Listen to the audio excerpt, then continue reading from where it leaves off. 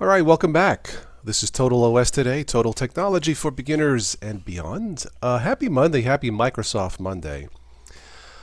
We'll take a look at some Microsoft news. Uh, then we'll um, actually first off, I'll show you how to fix a incorrect or broken time, broken clock in your Windows 10 machine. This happened to me this past weekend.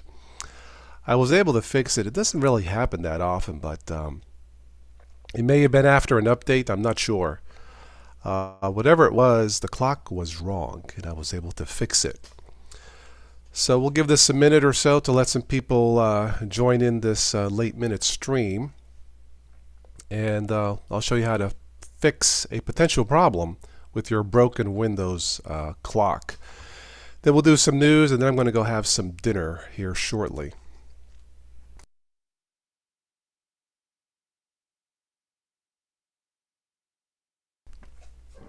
Throat's a little bit sore today. I don't know why. Anyway.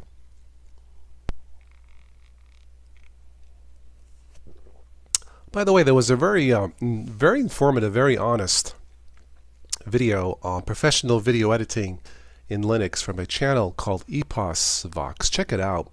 He gave a very honest assessment of why it is impossible, at least for, for professional YouTubers, to rely on Linux for video editing as opposed to say Windows or Mac. But check it out. Uh, I thought he gave a very honest, uh, you know, opinion on what's going on in the world of YouTube and how YouTubers uh, spend hours or less, hopefully not too many hours, editing their videos. All right, let's go ahead and screen share this, and then I'm going to show you how to fix one way to fix your broken uh, Windows clock. All right, there we go. Screen share, we're just using Google Hangouts. All right, you should be able to see this. So, right now my clock is correct, um, but it wasn't this past weekend. Um, so let me show you what I did. You hit the super key on Windows 10, and what you want to do is go to Services. Uh, you can type SER, that should get you there. Um, if it'll work, let's try it again. uh, it's not working. That's interesting. Uh, let's try it a different way. I may have to reboot this machine after the updates. Uh, I guess I should have checked to see who's in the house, huh? Hang on a second. Uh, let's see. Didn't mean to be rude. Hang on a second. Oops.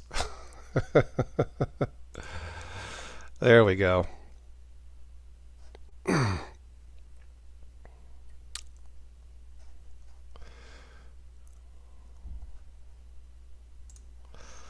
All right.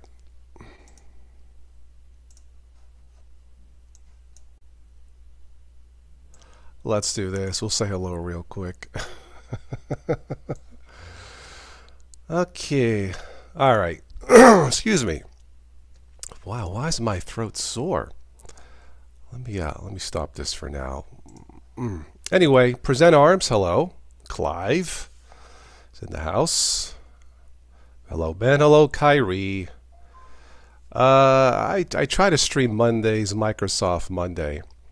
Uh, yeah, it's the last minute thing. So, um, I guess we can wait a few more minutes to make sure we get more people in here. But yeah, I um, I try to do a stream Monday and Friday. Monday in the afternoon, and then um, uh, Friday nights for the Thank TOS. It's Friday. So, as far as that goes.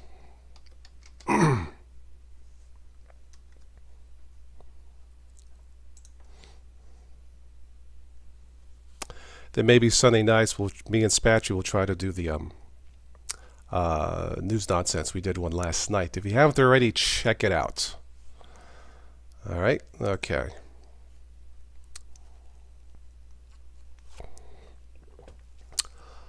All right. Well, let's go into what I wanted to show you.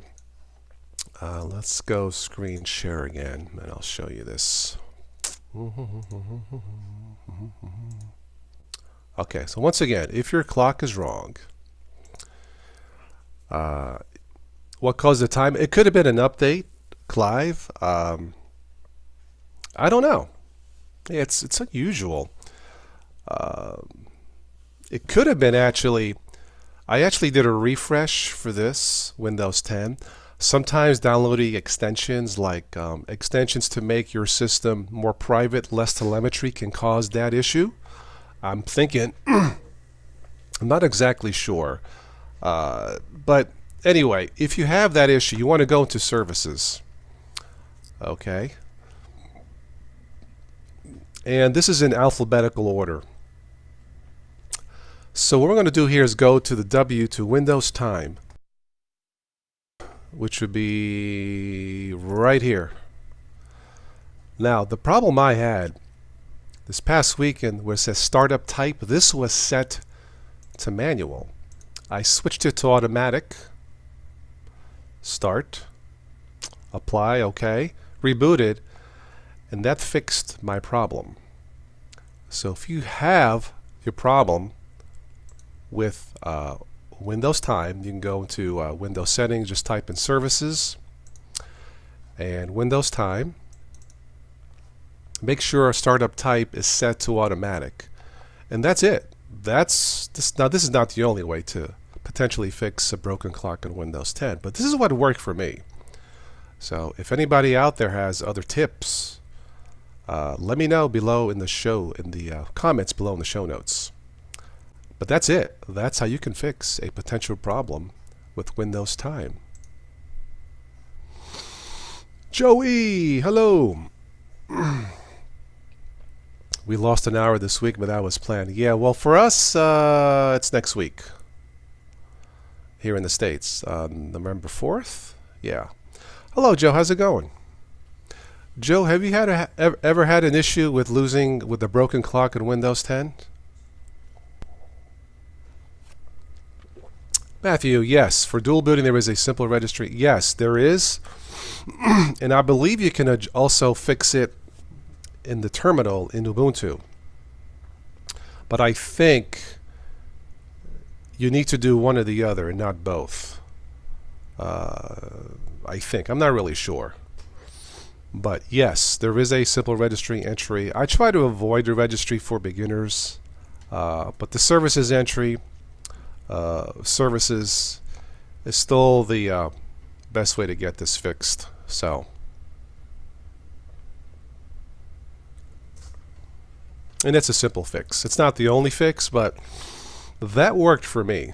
So, but yes, you can do the registry entry uh, to use UTC time just like Linux, yes. Uh, BIOS battery is failing? Uh, uh, it could be. You know, I, I do have a battery tester. I guess I can test it. Uh, but yes, that might be the issue. I'm good. I have an ongoing issue with the clock not staying up. The yes. Mm -hmm. That's what. Now Matthew suggested a registry fix. Uh, I did not do that. I went to services. Um, Joe, and I'll show you this real quick. I'll show you again. Services, uh, of course, this is all al alphabetical order. Windows, uh, time. And for me, startup type, make sure this is set to automatic and not anything else. And that's what fixed it for me. And I mean, it's that simple.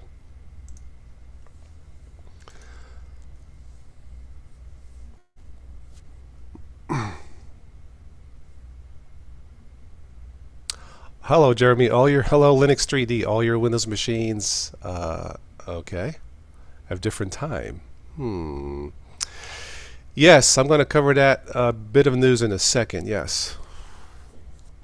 Hello, Mike. All right, let's go into um, the news and. Um,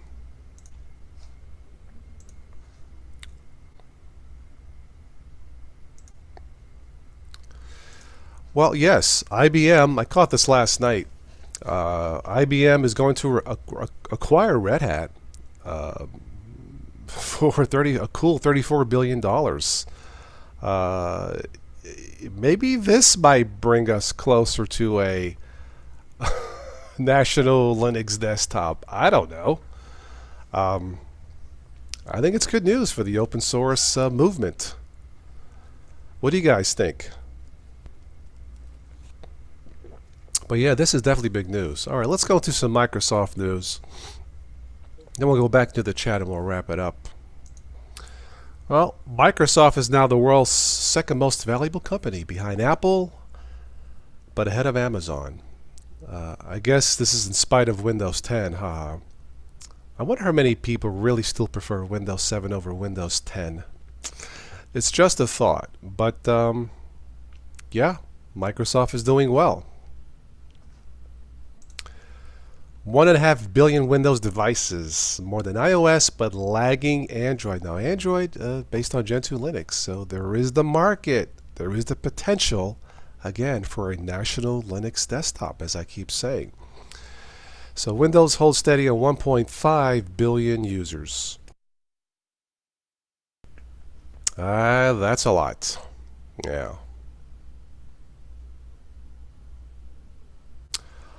All right. And a little bit of gaming news, Xbox One news. Microsoft surprises fans with a huge Xbox console announcement. All this says basically that they've done very well selling a lot of, you know, Xboxes, gaming consoles. Now, this is one thing that Microsoft has done right. Um, in terms of gaming, they've done very well. Uh, of course, everybody knows the classic Halo game. And speaking of Halo, I think that I think the Halo TV series is coming out next year on Showtime. So if you're curious about Halo or are a Halo fan, I believe I caught an announcement last week. Uh, Halo, the TV series, yeah, next week or next, not next week, next year. So be on the lookout for that. That should be very interesting. Anyway.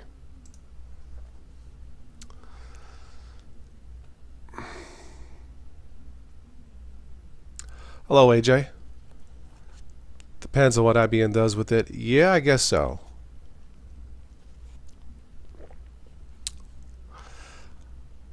Put a Linux distro in the forefront, but as soon as money comes in the picture, freedom gets compromised. That's certainly a possibility. But I guess we don't know until we try, Joe. I mean, uh, there is a need for for and and and a market. You know, there are a lot of people who don't want to spend two thousand dollars on a Mac. Uh, there's probably a lot of people who, you know, use Windows 10 aren't crazy about all the politics behind it. They're looking for a comparably priced alternative. Uh, that alternative could be Linux. Um, just my thought. IBM will restructure first, so what happens after we'll see, but open source is worth 32 billion to them. Yeah. I mean, you know, doing updates uh, in Windows is it's not fun. Um, it takes too long. It's a lot faster in Linux, obviously. Um, yeah. I think if we could have a desktop, a Linux desktop in front of the people, at a store showing him a Windows machine uh, and a Linux machine. And we'll say, yep, you run updates in Windows, you have to reboot. and reboot. In Linux, you may have to reboot once. Looks like I'm up to date with updates. Very good.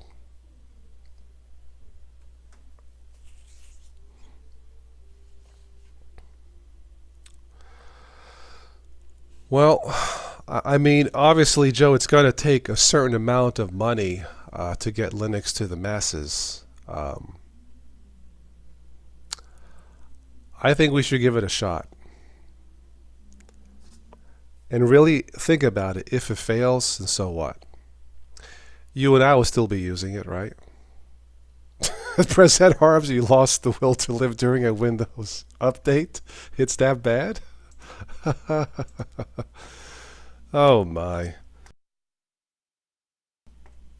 Okay.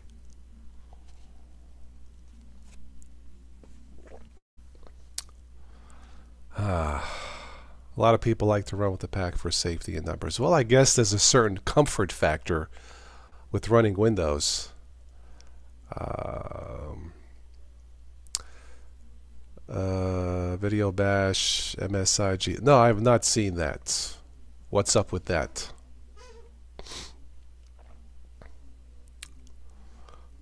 I was going to say somebody's bashing a video card. Okay.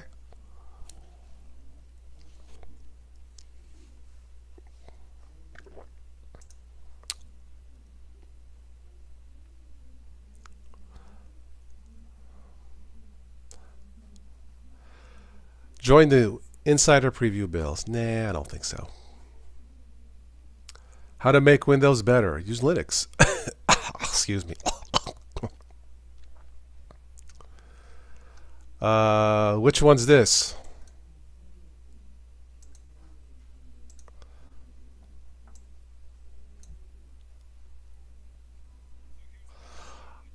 Oh yeah, yeah, I mentioned this, Joe. EposVox. Uh, yeah, I did see it.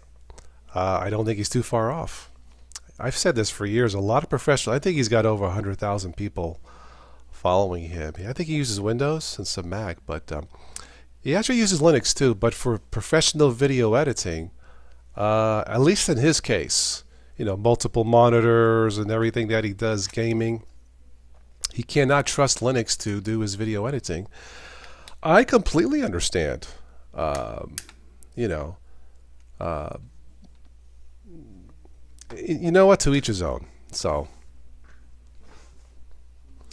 but the thing about video editing, Joe, he does a lot more than I do. His his edits are more. Uh, how should I say it? More complicated, more intensive. Uh, and he does. I mean, and it's a full time job for him. What he does, I believe, is a full time job, seven days a week.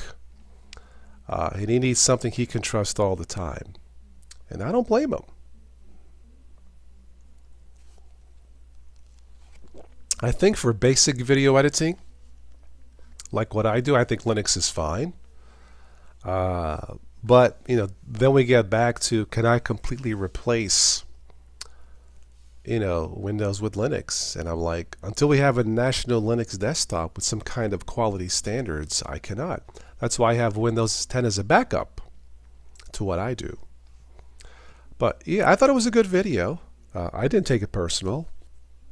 He's just talking about his experiences. Uh, but I saw the whole video, and he, he, he did also he did also praise Linux. Um, so yeah, he, he gave his opinion. You know, and he, and he does a lot more than I do. So, but that's my opinion. So, I think if we had a national Linux desktop, I think Kdenlive should be the uh, the standard for Linux for video editing. There's always a more pro, pro version for commercial use, but editing home video Linux may be just fine. Yes, totally agree. I totally agree. And I think he does 4K editing too. Uh, so he needs more, you know, high-end software. I did write on his, I, I did comment, excuse me. I did comment on this video that Linux has the capability to do everything Windows does, but you need to have the support behind it. It's a chicken and egg problem. Linux has a small market share because of a lack of commercial support, and it lacks commercial because of a low market share. Yeah, you know, but Google has the resources. Amazon has the resources. The market's built in. There are people there waiting, probably begging for an alternative, you know, to Windows at about the same cost. Uh, but if people don't have it, why should they care? You know. Um, people sometimes exaggerate a little and forget the problems that Windows gives sometimes. Many times are you working a product, of course, the Windows fails. I have not seen a blue screen in years, uh, Linux 3D. It's it's been a while. Yeah, the the issues with Windows isn't so much blue screens. That's very rare. at least for me. Multiple machines, that's very rare. Uh, it's the other stuff you know that we've talked about before, such as telemetry and privacy. But when the you know blue screens, very very rare.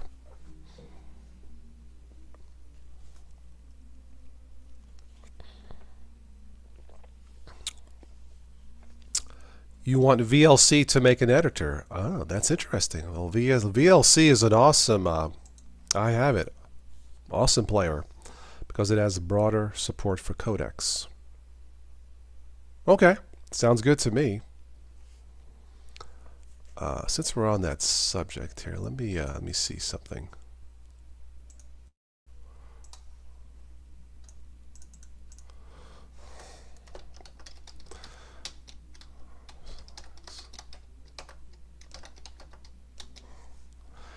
Type in Linux versus Windows video editing. And looks like there's more than one video. Here we go. We have Bryan Lunduke, this guy, and EposVox. Uh, is that Linux? Oh, that's a Linux gamer. Okay. Um, the current state of Linux video editing. Let's see what that says. Use Windows LTSB. It's stripped down. No tracking. No Windows. No, just the basic desktop. I should do. Matthew, how much does that version run? Uh, LTSB. It sounds like a drug, by the way. Hey, man, can you spare some Windows LTSB, man? I'm just kidding.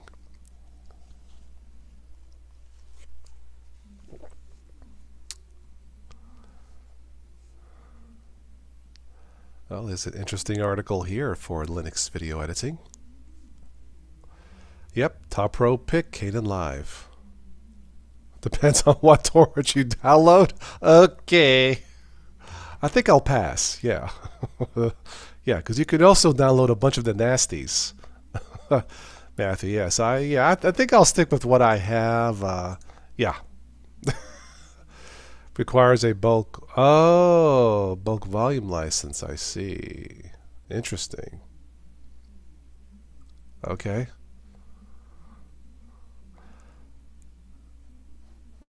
Hobbyist pick OpenShot.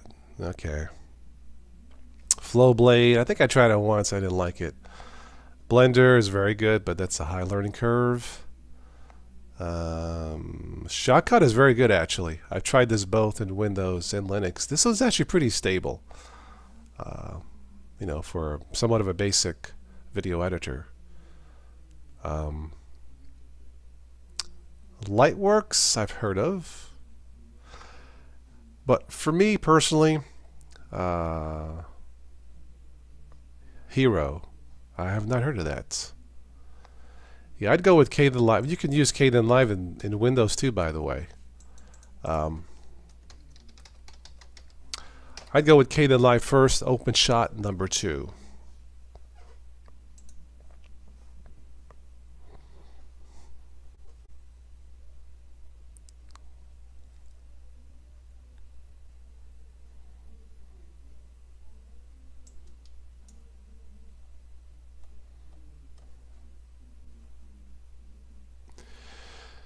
Uh, let's see. Yep, the latest Kdenlive 18.08.2 has been released.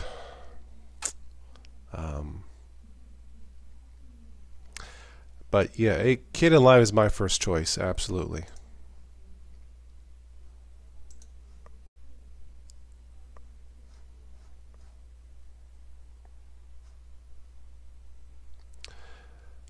And there is a beta Windows version still. Okay, very good. Okay, we'll wrap this up here in five minutes.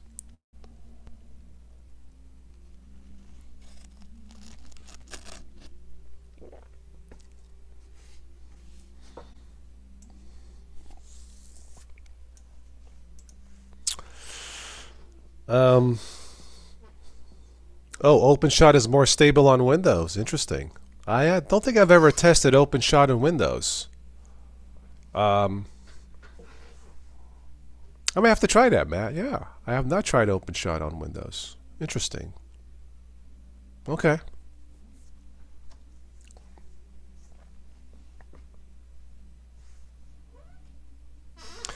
By the way, a great partition tool uh, for Windows is EaseUS Partition Master.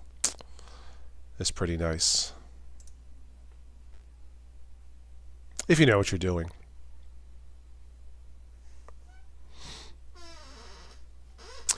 My chair needs oiled. It's squeaking.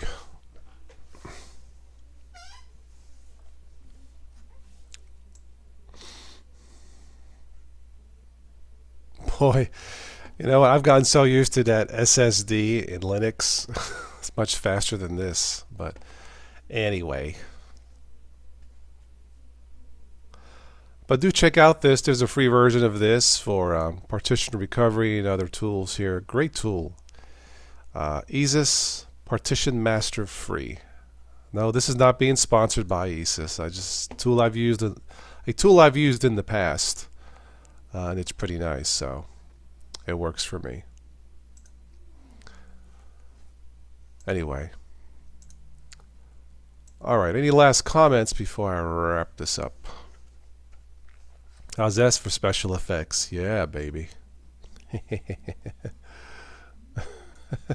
Oops. Anyway.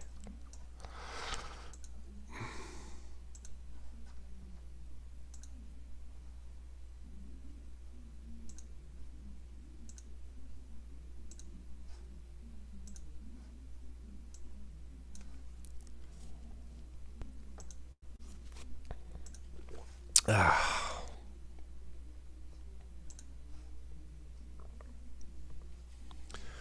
All right, so I think I'm going to wrap this up for uh, today, for October 29th, 2018. Uh, you guys have a good week. I'll probably catch you Friday night for another Thank TOS. It's Friday, don't have really a topic yet. Uh, if you haven't already, consider supporting this uh, channel if you wish. All the links below the show notes. The more supporters we get, the closer we get to a full-time schedule for this Total OS Today technology channel. Uh, I think that's it. If you missed any part of this, you can replay this on how to fix your broken Windows clock. Hopefully, what I showed you will solve the issue. All right, guys, I'm done with this. I will catch you later on in the week. Have a good week. Be safe. Peace.